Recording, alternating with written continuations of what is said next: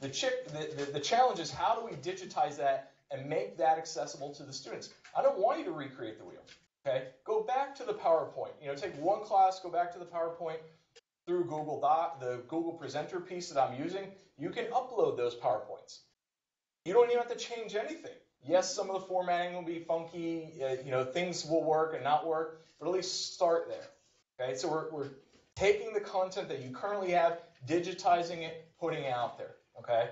What I'd also like to suggest, other than just digitizing stuff, so as you create new classes, as you create new teaching learning materials, how do I start with a digital copy first?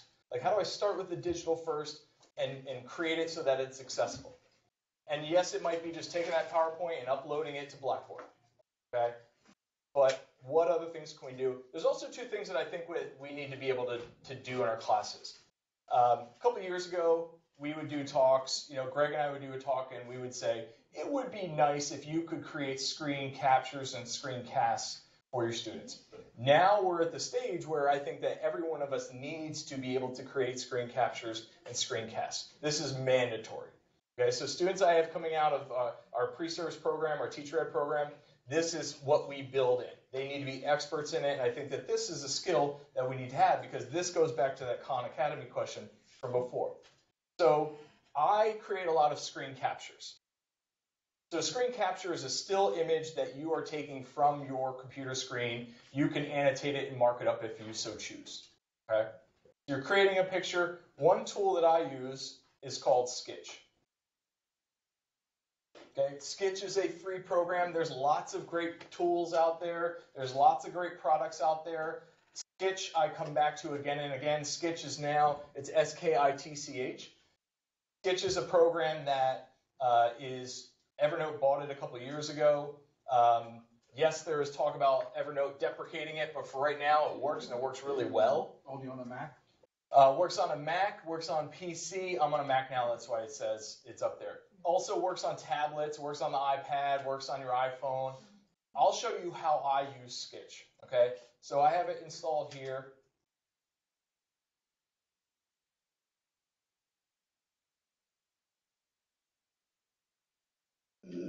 So what Skitch will do is I have uh, I can pull screen captures, I can take pictures of stuff on my screen, and most importantly, I can annotate that or mark it up. Okay, so if you are looking at a web page, um, if you're trying to direct people to a, a, certain area, so here's an example. I had a couple blog posts recently on how to uh, go in and creative uh, get images from the internet and add them to blog posts. So I had students that were blogging, and instead of me going through again and again and again how to find an image and use it, I did a bunch of screen captures and gave it to them. So here's an example of. Come on. Technology's overrated. Just kidding. Never works when you want it. It never works. Just go to your blog post. There we go. So this is an example. I went on to Flickr. I took a, there we go.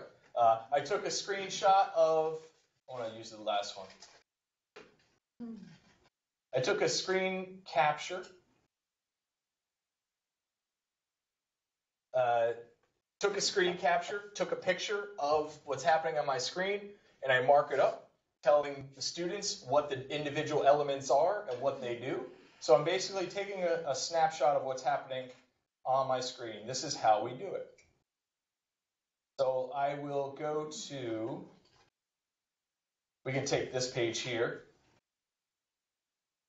So what'll happen is I'm in Skitch now. It's free. It'll save my stuff to Evernote. I can hit screen snap, and then I have a little target. Okay? I basically click and drag. They do this with like a JPEG or a... Yep. So I'm going to click and drag. I typically don't, you can get in here and mess with the options and stuff like that. I ignore it at this point. I will click capture. And then it pulls over the capture to me. If I wanted to, I could just move this over and use it. I prefer to annotate and mark these up, but it, it depends on my purpose, depends on what I want to do. So the reason why I love Skitch is because it makes it very easy to use some of these pieces. So I'm going to click on this and say, uh, click here. I'm going to add a little arrow. I can add, I can change the color, I can change the font. Um, one other thing that I really love about Skitch, especially for researchers, is this. Um, if you ever need to make information de-identifiable or obfuscate uh, participants in research, as a pixelator. Okay, so if you have students or you have a, a classroom where you have research, you can obfuscate their images, their pictures. Um, you can add little uh, uh, pop marks and stuff like that. But then the nice thing is now I can take this and I can click and drag it to my desktop, save it as a PNG file, save it as a JPEG, whatever I want. And now here on my computer screen, I've got an image. Okay, so your image could be anything. Whatever is on your screen and you wanted to uh, describe to students. This is a screen capture. You mark it up, you annotate it, you got an image. Yes, you could put that image into a Word doc and print it out and make photocopies. You can do that. But then we can also add it into your online discussion forums. You can add it to a website, a blog post. You can add that wherever it is that you need. Okay, so you start to think about, okay, think about some of the uh, little tasks that we frequently have to ask our students to do or our colleagues. You know, I, I would ask students, okay, go sign up for an account at Skitch.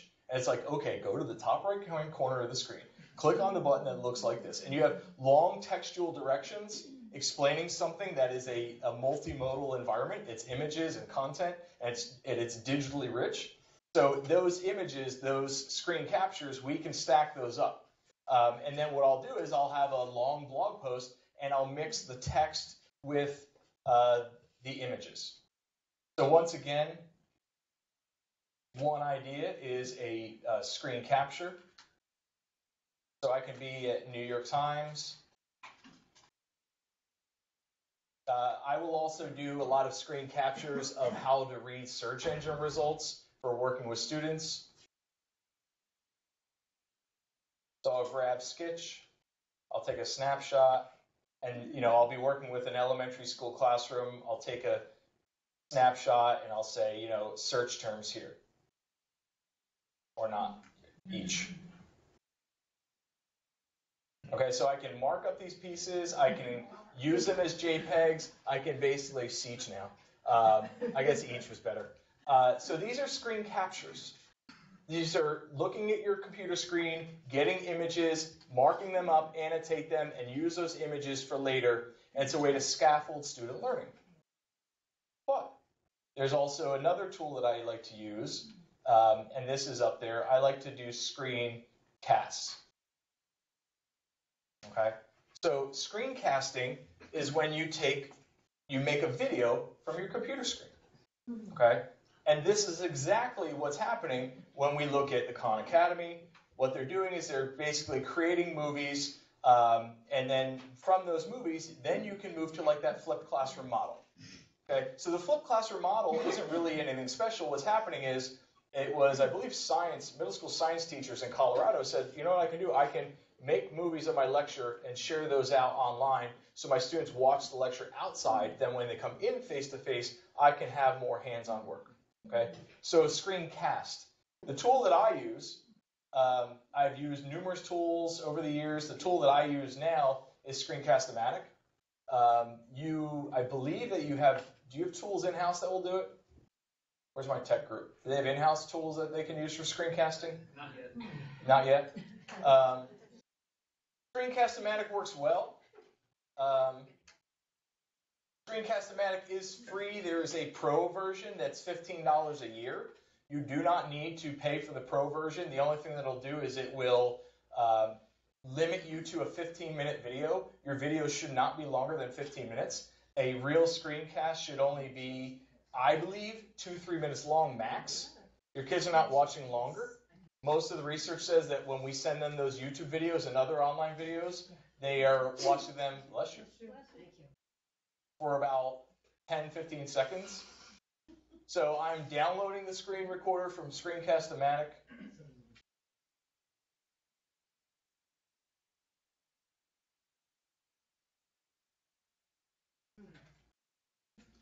So what we're doing is we're creating a movie from what's happening on the screen. Okay. Um, it's the same idea behind the screen capture. The only thing that we're doing is we're adding the, the video and the motion and our and our uh, our think aloud.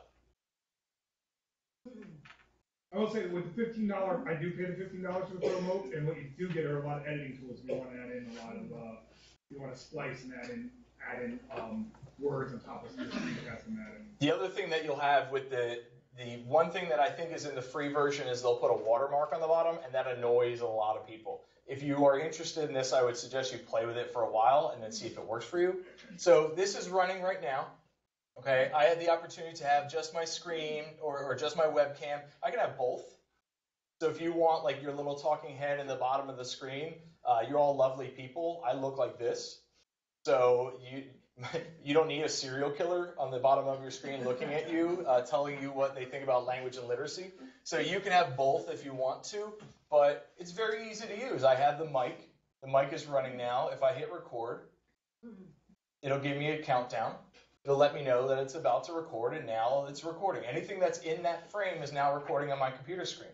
So I can create a lecture and talk people through my PowerPoint. Um, what I'll often do is I'll, I'll give the students the PowerPoint, and then when class is over, I will go back to my office and record the lecture and get a video of that lecture. I put those videos up on YouTube, and then in class say, here's my PowerPoint on Google Presenter. Here is the YouTube video of me doing the lecture. So if you're not here, not a big deal. The lecture is there. If you miss something, if you're an English language learner, if you need support, if you're a student with special needs, you need support, the video is there.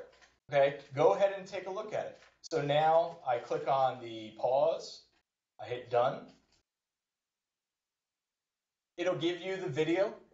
You can download it, uh, which is pretty pointless because it's a flash file, not really much to do with it. You can upload it to Screencast-O-Matic. They have a pretty decent hosting service. I put all my stuff on YouTube.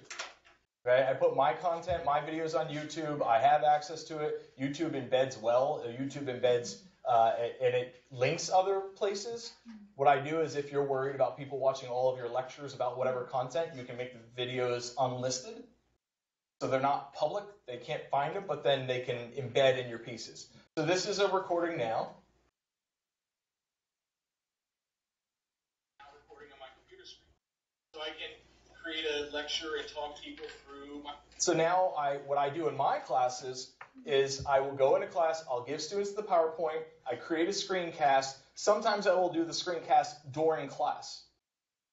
So I'll walk students through, typically, even in a session like today, I'll record the screencast while we're talking through. Yes, it'll capture the questions and everything else, but then you know what resonates and what does not work. So I record the video and then share that out with students. Sometimes I'll go back to my office and record it. I'll sit there for 20 minutes, record my lecture, put it up on YouTube, share with students. The nice thing is once you create that recording, then year after year in that class, I make that available for students. I link that video in. They can go in and listen to it or get caught up and use it at their leisure. Yeah. What class are you teaching when you use this in the classroom? I do pretty much all my classes. What- What's the subject matter of those classes? Uh, this what do what class do I teach students how to do it, or what class do I do this process in? Both. So any class that I teach, I do this. That doesn't tell me anything. Any class I teach, hell, I teach ac- accounting. No, no, it does tell you. What I teach is What, what's the subject matter? I do ed psych, uh, I do uh, language and literacy, I do a lot of technology classes. So any class that I teach, I use these pieces. Um, And you actually teach that instead of the subject matter? no, no, no, that's a different question. So I'll use this when I'm rolling out the material to students, but I do teach students how to do this sort of stuff, and I do that in some of the technology classes I teach. So there's two frames. Like one is I do this for my students uh, in any class. So I'll have PowerPoints for lectures, and I'll record the lecture ahead or after, and I'll record the video and give them the video.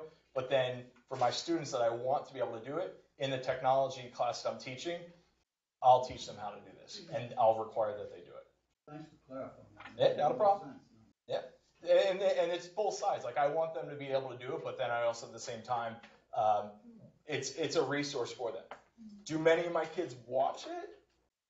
That's another question. I mean, when I was teaching ed psych, I taught ed psych for four years. I taught it probably five times a year, and you know I, I went back at some of my videos granted they're all unlisted so i'd see 20 30 views over a couple of years you know but the resource is there so yeah. I have a friend at Cal State Stanislaus. Yeah. Who has done this. He uses uh, Screencast-O-Matic. He's recorded all his lectures. And now he finds excuses to take students all over the globe and just tells his on-campus classes to watch the screencasts.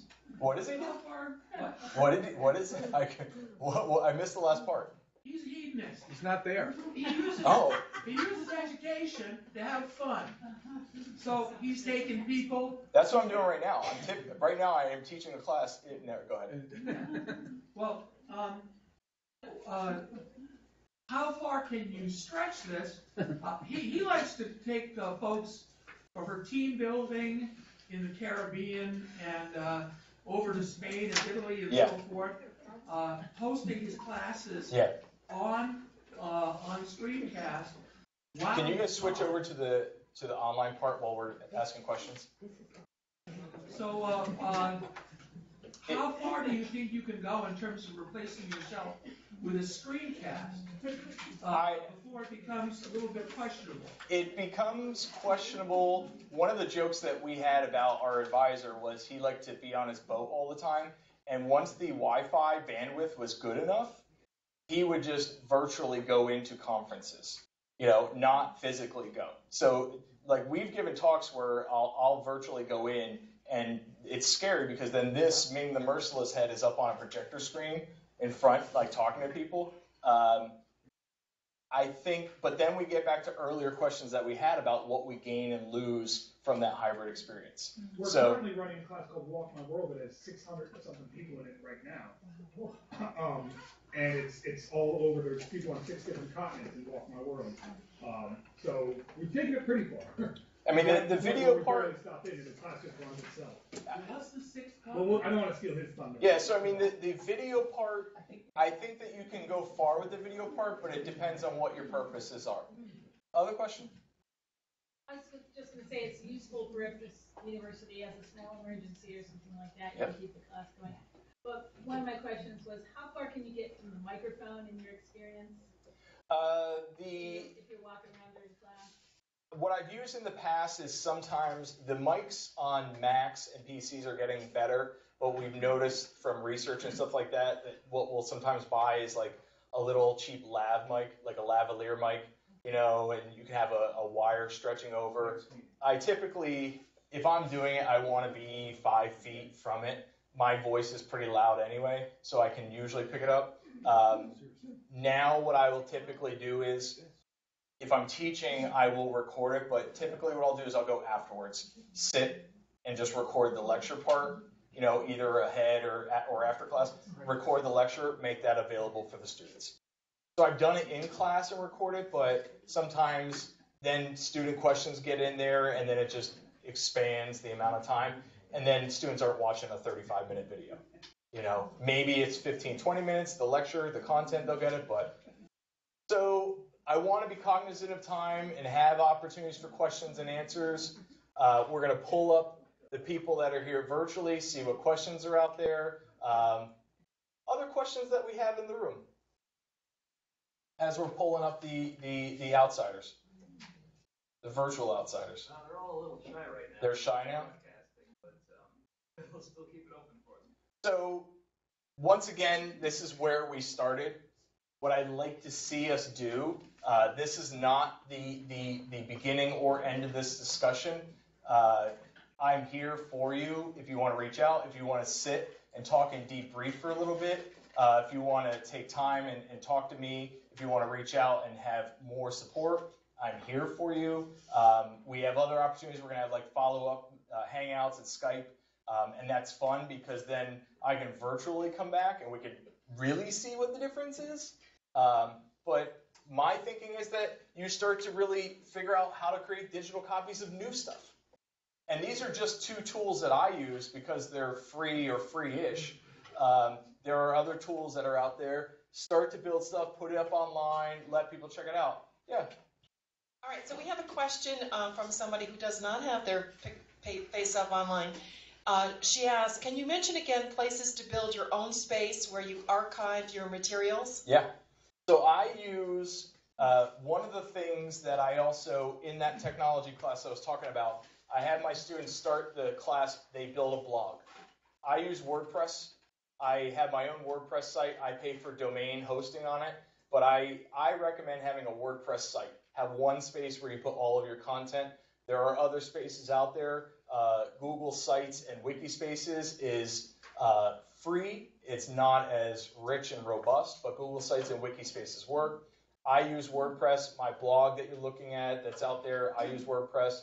Um, there are other online tools. What people will also use, uh, my students will either use Weebly, W E E B L Y, or they will use Wix. So Weebly is a free website builder. Uh, WordPress, sometimes people have a bad time with it because it's a little bit too technical at times, but Weebly works very easily. Um, and then if you really want to make it super easy, uh, Wix is out there. Wix is free. My students use Wix. It's pretty simple to drag and drop and make something that looks stunning. Um, but then it's limited because WordPress has the extra features. So my vote would be to start with WordPress. Yes. Yes, are your screencasts closed captioned? I don't close caption them yet. Um, we're, uh, YouTube will uh, add in closed captioning to some pieces. Uh, I've been trying to figure out ways to add closed captioning to my screencasts. I've been also trying to figure out different ways to uh, make them available to uh, you know people that are not English learners, uh, to make it available to people that are English language learners. Um, so that's one of the things I have to build in. It's just cost. That's one of the issues that I'm having. Yeah. Um, er, a few minutes ago, when you were talking, um, the gentleman over there, I'm sorry, I don't know his name, was talking about walking the world. Yeah. Um, a question came in when you were having that conversation. Why does it matter where you are as long as students can ask, access you or it? Say that again. They were talking about, I, I can't quite remember exactly what they were talking about. Um, Oh, Oh, it was, well, the question was, does it really matter where you are Right. if students have access to twenty-four seven? You can, so, we're saying maybe that, that guy that, you know, maybe he's figured out the right gig, because now he's taking experiential education, he's taking students from Yeah. schools to other parts of the world, while still managing, so he's getting the university to pay for his trips to Florence, while he's getting a paycheck. I, He's a hero The- the, the short answer might be no, it doesn't really matter. And so the challenge here is that we know that our universities are trying to get us to reach out to global audiences and find students elsewhere, but then it has to come back to, to good teaching and learning. That's one of the big issues that we're going to have. So it, it might not really matter where you are as long as people can reach you and have access to your stuff and you build it the right way. But then we're talking more about that time issue and the savviness with technology issue. Yeah, You mind if I throw you a curveball? just go for it. It's free Okay, there training. is some research out there that uh, unless students can can take what they learn online and apply it Yeah. in their lives or on their job within a relatively short period of time, online learning is largely a, a matter of memorization. In terms of retention and transfer, it doesn't happen as much uh, if, if any period of time is involved there. I'd like to know what your experiences are because uh, a, a lot of the, uh, uh, and I, I tested this in my class um, uh, over the past uh, year or two, and they say we take we take online as a last resort. It's convenient. It fits into our schedules. Yes. We memorize, Yeah. we regurgitate, and we forget, unless they immediately apply I it think that's on the job. I think it's the design of the course. I think it's the design of the program. Um, while we were on break, someone in this room said, like, yeah, I take online courses because it's easier. It's easier. It's more manageable. I don't have to show up. You know, and when you're saying to me that you had colleagues that would have like the two hours sit down at the video and let's have an online class, that I would I would hate that class. Mm-hmm. I would blow up that class in evaluations. And so I think it's the design. The programs that I've had in the past, the one that I ran over at, at UNH, it was it was teachers that were currently teaching and using the content in class. So it was built so okay, That's perfect. Yeah. it, and that was trying to make the application piece because I definitely recognize the fact that there is a lot of bad online, you know.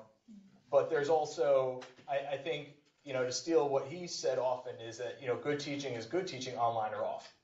You know, that's the key component in all this. Make sure that we have good teaching and learning built in, and how are we reaching people? How are we making it accessible to others? And don't conflate online being alone. Build in opportunities for your kids to apply that learning. It should never be, watch my forty minute screencast in my narrated PowerPoint, then go and do the online seven question quiz. Take a quiz, yes. Yeah, no, get them doing a project together, get them, and online, like, even though I'm online, most of our campuses, even the commuters, I'll still do group work, and they'll, and say, why don't you guys meet face to face? Like, just because the class is distributed doesn't mean that I can't get the bodies together for the project. One of the things that I'll also mention quickly is that a tool that I'll use is Vialogues. Vialogues comes out of Columbia. Um, one of the nice things is Vialogues, you can dump in video or a YouTube video into it, and it will have a discussion thread built into the video. So it'll have timestamps of the video. So you say, here's my lecture, or here's this video, watch the video as a class, and I want you to have comments that are baked right into the video. And then students can see each other's dialogue. So then instead of just saying, watch the video, come over here and talk, you can have that threaded discussion built right into the video. So I use Vialogues a lot in my classroom. And all it is, is it's taking that video feed and baking a, a threaded discussion right into it. Um, the kids have to go, these students have to go in and create accounts to use Vialogues, but for the most part, it has worked well for me. And by well, what I mean is that in longer videos, I'll see students that will will watch it longer and they'll have comments and questions baked later into that piece. So I use Vialogues a lot. It's another tool to start playing with if you're interested in these screencasts. It's 11:30 now, and uh, we promised to end the session at 11:30. Um, there is the evaluation. Please uh, do us a favor, uh, fill out the evaluation. We also have a sign-on list. Uh, please uh, sign on if you haven't done that uh, already. I would like us to appreciate our workshop presenter. I think he's done a fantastic job. That is good. Can you put your hands together for Dr. Thank you. It's all you. It's all you. Thank you very much. I'd also like us to show appreciation to uh, Dr. Carol Stewart and uh, Dr. Uh, Doris Marino. Uh, they did a lot of work putting this together. Coordinating an event like this uh, is not that easy. So can we please show appreciation to Carol. Thank you all very much. Like he said, the discussion and conversation continues. We'll still have a lot of food uh, at the back. And I'm here. I'm not leaving. If you want to grill, They will let's talk. around for some time if you would like to continue the conversation. Again, thank you very much for coming. Thank you. Thank you. Feel free to stay, or Ian is available if you want a one-on-one, a small group-on-one. We'll be, we have the room till two o'clock,